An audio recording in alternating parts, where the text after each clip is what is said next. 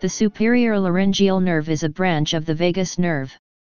It arises from the middle of the inferior ganglion of vagus nerve and in its course receives a branch from the superior cervical ganglion of the sympathetic nervous system. All intrinsic laryngeal muscles except the cricothyroids are innervated by the recurrent laryngeal nerve. The cricothyroid muscles are innervated by the superior laryngeal nerve.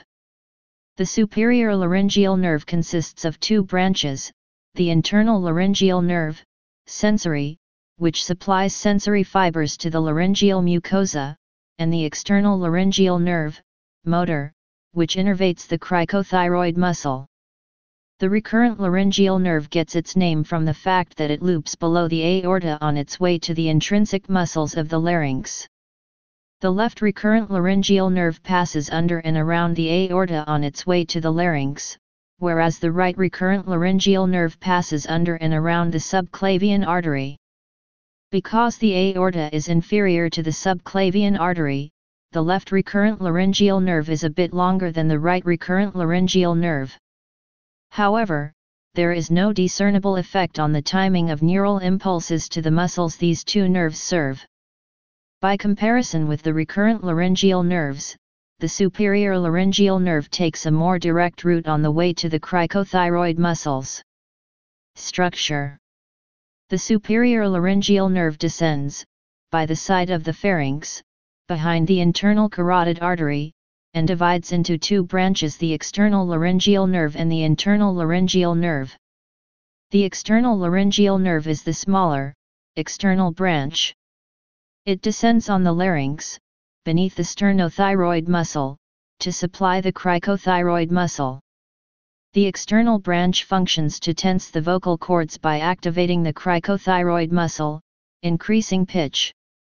The external laryngeal nerve gives branches to pharyngeal plexus and the superior portion of the inferior pharyngeal constrictor, and communicates with the superior cardiac nerve behind the common carotid artery. The internal laryngeal nerve is the internal branch. It descends to the thyrohyoid membrane, piercing it in company with the superior laryngeal artery, and is distributed to the mucous membrane of the larynx. Of these sensory branches, some are distributed to the epiglottis, the base of the tongue, and the epiglottic glands, others pass posteriorly, in the aryepiglottic fold, to supply the mucous membrane surrounding the entrance of the larynx, and the mucous lining of the larynx as far down as the vocal folds. A filament descends beneath the mucous membrane on the inner surface of the thyroid cartilage and joins the recurrent nerve. Above the vocal folds the sensory innervation of the larynx is via the internal laryngeal nerve. Below the vocal folds it is by way of branches of the recurrent laryngeal nerve.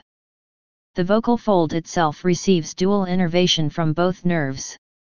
Clinical significance A superior laryngeal nerve palsy changes the pitch of the voice and causes an inability to make explosive sounds due to paralysis of the cricothyroid muscle.